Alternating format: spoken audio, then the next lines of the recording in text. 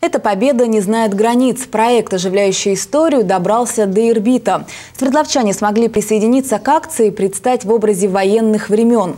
Живая победа там воскресила необычные истории и легендарных героев. Для реконструкции фото в Ирбите организаторам пришлось набирать целую команду моделей. Там восстанавливали снимок 42 года, на котором запечатлены зимние испытания мотоцикла. Мотоциклетный завод эвакуировали в Ирбит из Москвы в самом начале войны. Вместе с ним на Урал переехали приехал легендарный гонщик Борис Зефиров. Ему-то и доверяли обкатку техники, едва сошедший с конвейера. Раритетный транспорт для съемки предоставил Ирбитский музей мотоциклов. Его же сотрудник снялся в роли Бориса Зефирова и признался, съемка для него – большая честь и серьезная ответственность.